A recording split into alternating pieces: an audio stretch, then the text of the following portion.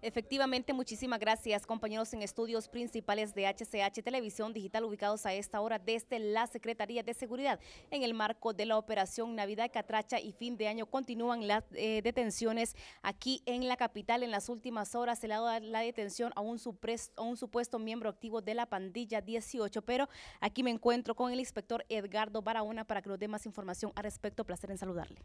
Así es, eh, la Policía Nacional a través de la Dirección Policial de Investigaciones realizó una operación especial este día en un sector de la colonia del Pedregal de Comayagüela, donde se logra la detención de un presunto integrante de la estructura criminal Pandilla 18, a quien se le decomisó un arma de fuego, munición y un libro donde se encontraba un registro contable presuntamente de lo que se capta por esta estructura criminal en base a la extorsión. De igual manera, un listado de presuntas víctimas para este mismo delito, por lo que esta persona de 18 años de edad ya fue puesta a disposición de la Fiscalía del Ministerio Público para que se inicie un proceso acusatorio en su contra. De igual manera, la Policía Nacional está haciendo las verificaciones que corresponden para determinar si este integrante de la pandilla 18 tendría algún vínculo a otros hechos ilícitos suscitados en la capital de la República o en otra parte del territorio nacional.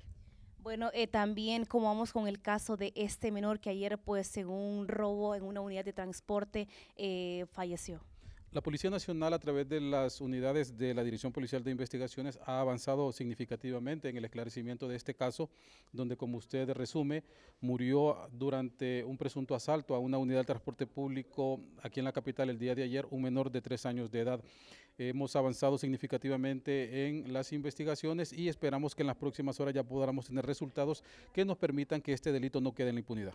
Bueno, muchísimas gracias al inspector eh, Edgardo Barahona con esta importante información desde la Secretaría de Seguridad con imágenes de Juan Manuel Ávila. Nosotros retornamos con ustedes hasta los estudios principales.